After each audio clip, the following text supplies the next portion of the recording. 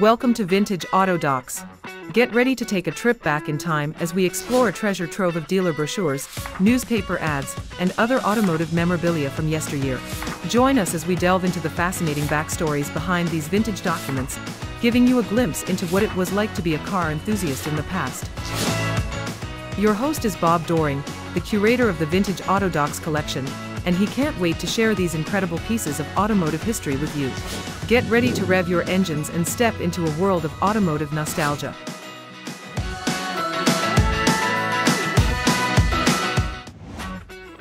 Bob Doring, curator of Vintage Auto Docs here.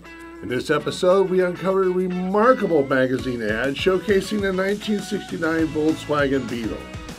We'll examine its features before diving into some fascinating stories behind the Beetle. Let's check it out. The Volkswagen Beetle is an iconic car that has been around for decades. However, before 1949, Americans had never seen one on their roads. The automobile industry was forever changed after a German origin brand took center stage in post-Hitler era, thanks to the efforts of William Bernbach, Ned Doyle, and Maxwell Dane, who founded their own ad agency back in 1949. Their secret weapon? Pitching clients with limited budgets by delivering smart, catchy campaigns that didn't overwhelm consumers like other agencies did at the time. Helmut Krone was hired as an art director at DDB in 1954.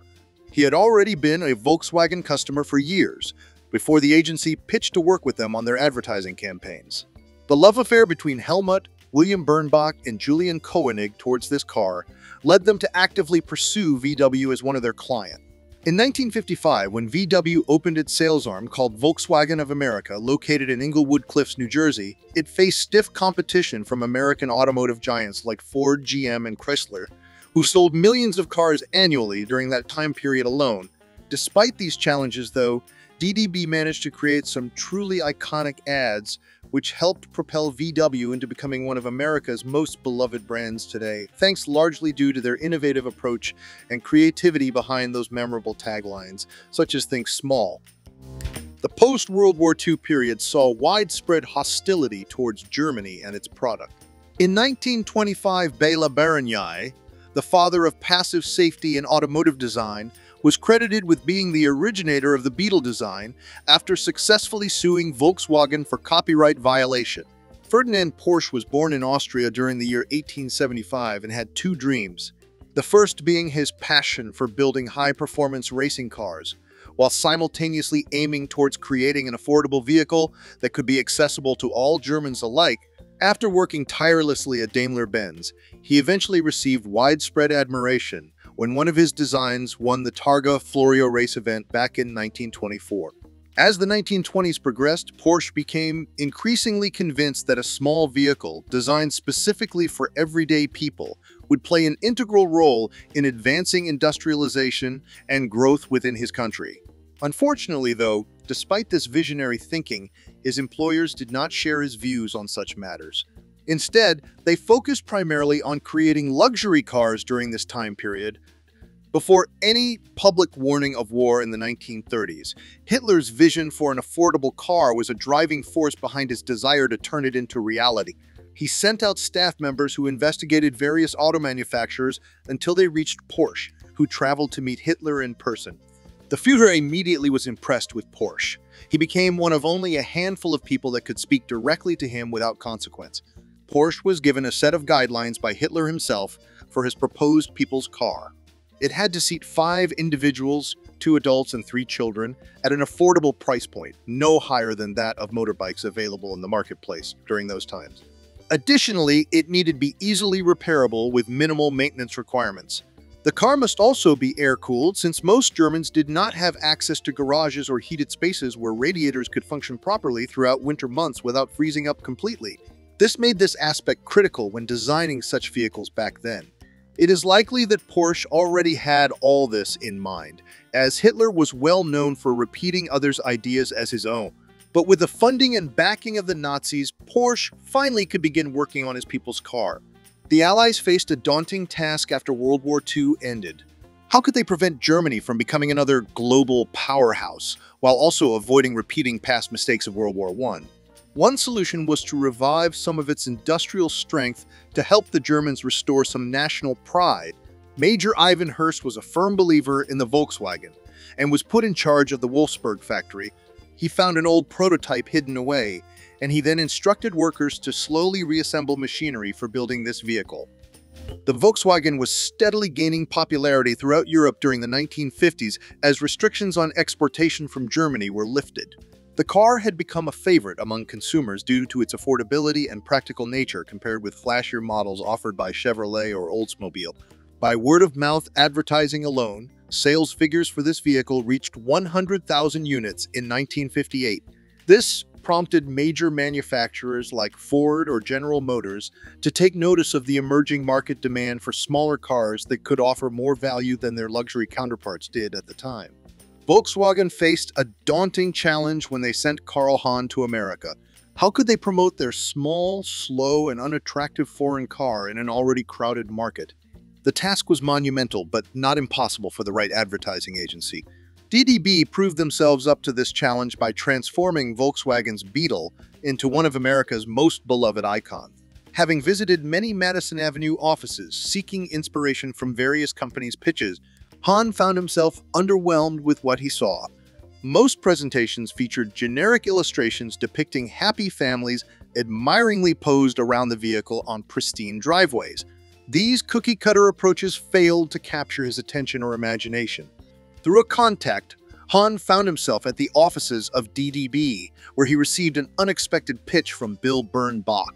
Unlike other agencies that presented mock-ups or drawings beforehand, Bernbach didn't have any concept for his ads yet, instead opting to showcase past works by DDB itself. This honesty and transparency impressed Hahn greatly, as it demonstrated how much faith Bernbach had in his team's abilities.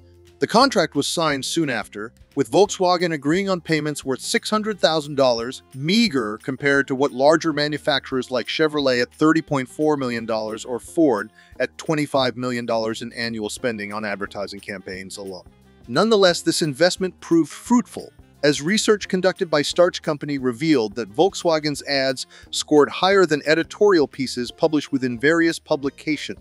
Upon visiting the Volkswagen factory in Germany with his team from DDB, Bernbach was struck by how much pride workers took in their craft. He remarked to Helmut Krone that this car represented an honest product.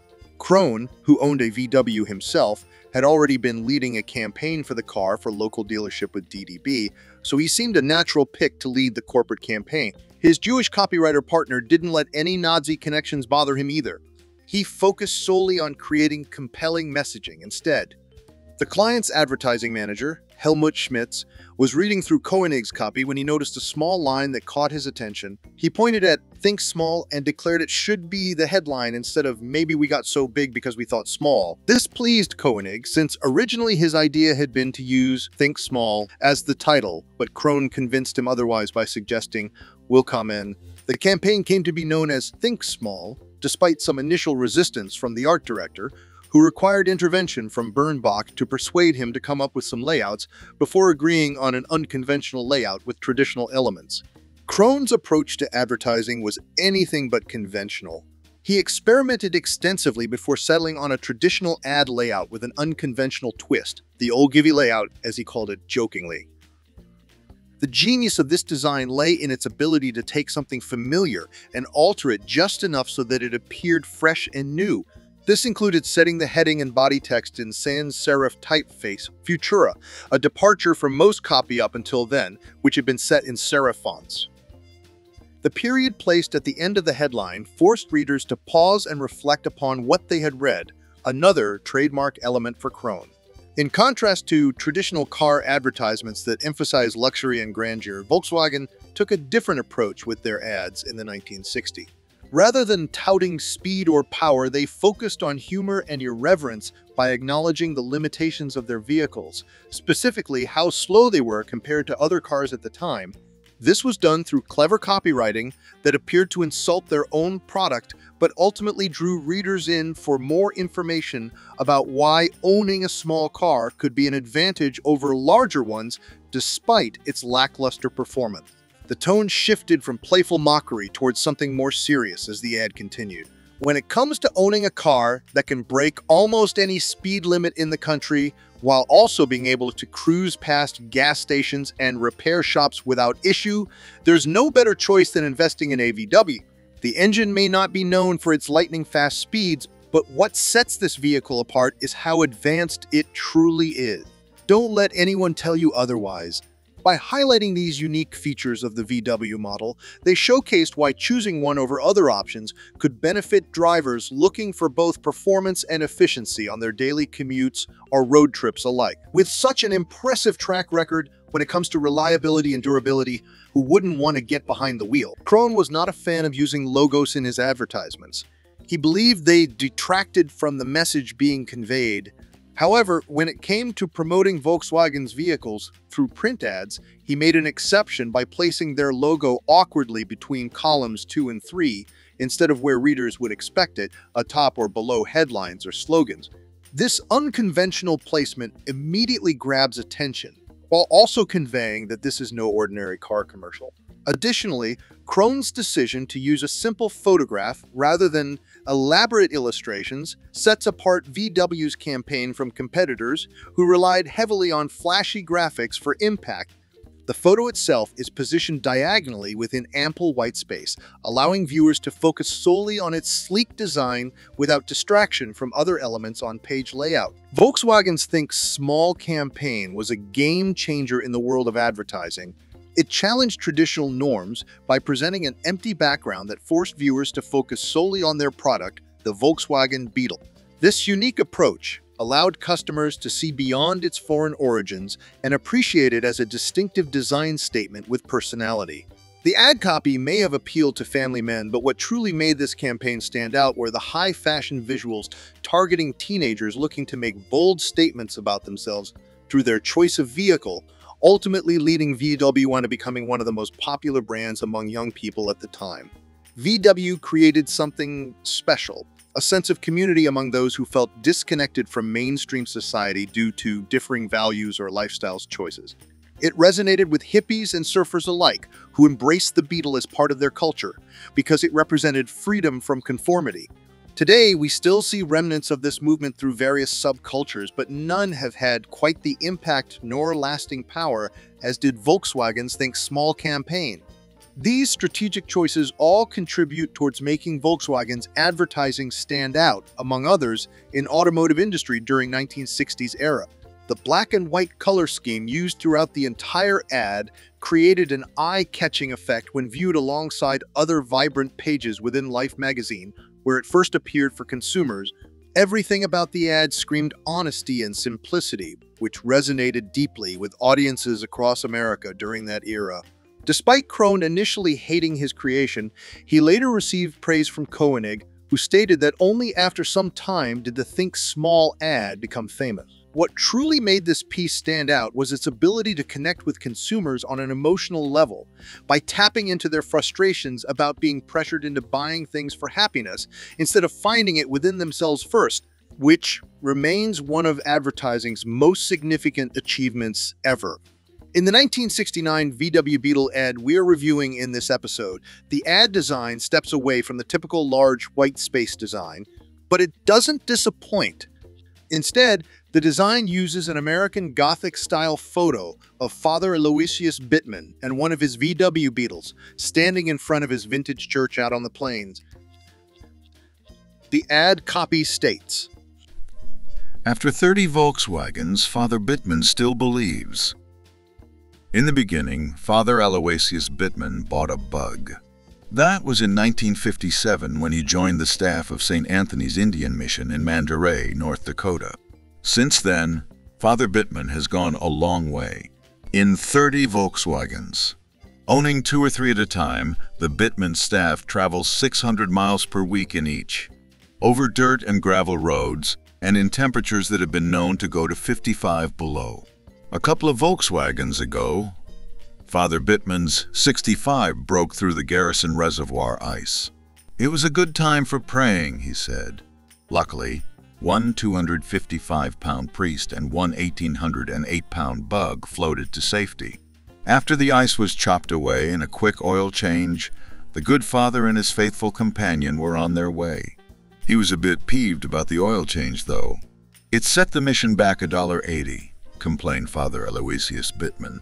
Although not a lot is known about Father Aloysius Bittman, we do know he was a Catholic priest who served at St. Anthony's Indian Mission in Mandaree, North Dakota from 1957 to 1973. He was known for his devotion to the Native American community and his love for Volkswagen cars. He drove them across the rough terrain of the reservation. He died on January 2, 1973, and was buried at Assumption Abbey Cemetery in Richardton, North Dakota. He is remembered as a true North Dakotan and a loyal Volkswagen fan. What brand brand ambassador would not hold more credibility than Father Bittman? They even were able to substantiate further claims of the ability of the VW Beetle to float with one of his anecdotes. In 1969, four models were available from Volkswagen. The Beetle, the iconic compact car with a rear-mounted engine and a distinctive shape, the Karmann Ghia, a stylish two-door coupe or convertible based on the Beetle chassis. The Transporter, a versatile van or pickup truck with various configurations and uses, and the Type 3, a larger and more modern car than the Beetle, offered as a fastback, squareback, or notchback. In 1969, the Beetle was still at its peak sales and outsold any other model by far, with sales of 377,322 cars. The Type 3 model came in second with only 26,000 cars, followed by 12,500 transporters and 9,595 Karmann Ghias. You might think the 1969 VW Beetle was the same as the previous models, but there were some subtle improvements that year. Double joint rear axles, so-called independent rear suspension on all US models, warning lights and speedometer, get letters for identification, day-night rear view mirror, steering lock included in ignition lock, floor hot air vents move slightly rearward, warm air outlets at base of doors, move further rear with remote knobs on door columns, and finally the speedometer gets one-tenth mile indicator. The specifications of the 1969 VW Beetle were similar to previous years. It had a 53 brake horsepower, 91 cubic inch displacement engine with a one-barrel carburetor. That was about one quarter of the horsepower found in a 1969 Chevy Impala, but it only had to move half of the weight as the Beetle weighed in at a paltry 1,742 pounds. It was rear-wheel drive, with a four-speed manual transmission. Its top speed was 82 miles per hour, but it provided 25 miles per gallon fuel economy. In comparison, a 1969 Chevy Impala had a top speed of 130 miles per hour at 11.5 miles per gallon. So clearly a choice had to be made. Do you want speed or fuel economy? There was a unique VW Beetle model offered in 1969, the Volkswagen Beetle 1500 Wedding Sedan. This wrought iron-bodied wedding Beetle was hand-built. The car was used for private weddings in certain regions of Mexico. Six copies were produced, each with a unique pattern of wrought iron. This vehicle was originally given to one of the first VW distributors in the United States. This car was made of wrought iron by the hands of a Mexican craftsman, Rafael Esparza Prieto. A parts company for the German brand in Mexico commissioned Esparza with some pieces as a promotion for the store. The workshop was very close to the automotive plant, which is why it caught the attention of some executives from the VW Mexico company. Esparza was commissioned with this 1969 Volkswagen Beetle wedding model in special commemoration for the 1968 Olympic Games that would be held in Mexico City. The model was forged on a template of the body of the iconic model Beetle, and the craftsman subsequently built around 20 units, now all collectible. This piece of art, made of wrought iron painted white, which could be Cinderella's carriage, except it doesn't turn into a pumpkin. The 1969 VW Beetle is more than just a car. It represents simplicity, reliability, and timeless appeal. This iconic vehicle has been cherished by generations of drivers who appreciate its unique character. The acceleration may be gradual, but once you reach cruising speed, the smile on your face will say it all. Owning this classic ride means becoming part of an international community where fellow bug enthusiasts share stories about breakdowns, adventures, and roadside fixes over cups of coffee or long drives across scenic route. Whether commuting daily or embarking on weekend getaways with friends or family members, Driving around in style behind the wheel of such an unforgettable automobile always invites conversations from strangers passing by. So hop in, adjust the mirrors, and let the Beetle take you on a journey through time. It's not just a car, it's a piece of history, a symbol of freedom, and a reminder that sometimes the joy is in the journey itself. If you recall seeing these classic style VW ads back in the day, or have stories of a VW you owned or enjoyed, share them in the comments below. We would love for you to add to the history of one of America's favorite cars.